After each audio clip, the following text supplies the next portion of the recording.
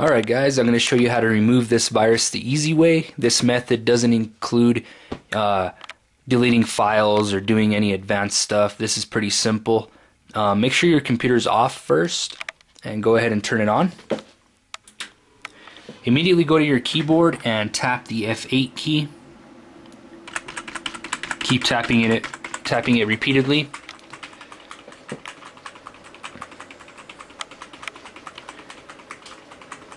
And just keep tapping it to till you get to a menu screen here in a bit.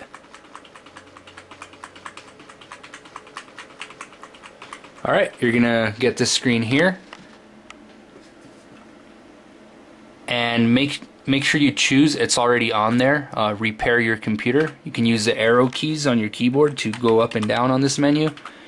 And select repair your computer and hit enter on your keyboard it's going to load up the Windows files.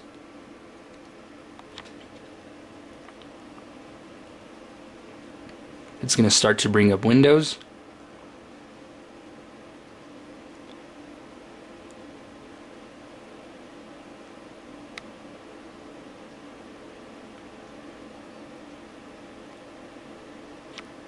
Alright, it's going to come up with this screen here go ahead and click on next. Select your administrator account. You can select it through the drop down menu here and type in your password.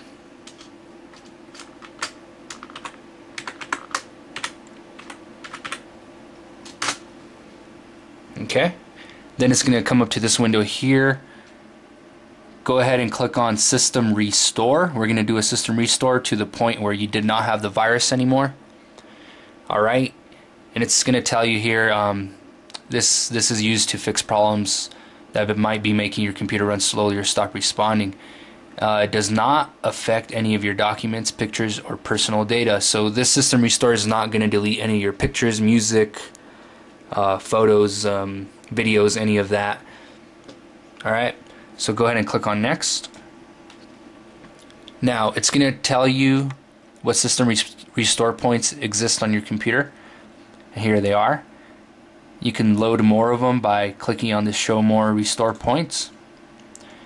And select the one that has the date and time before you had the virus.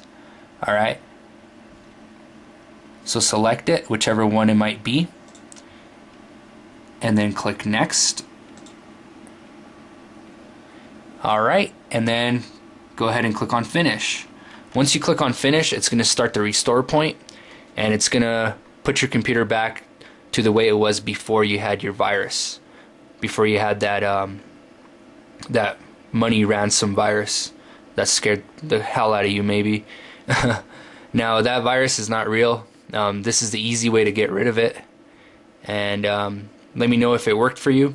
So when, once you click finish, it's going to start the system restore process. It's going to restart your computer and it's going to finish it from there. Alright, so let me know if this worked for you. If it didn't, uh, go ahead and comment on the video below and let me know. Hopefully this has worked out for you. Hopefully it helped you out and have a good rest of your day.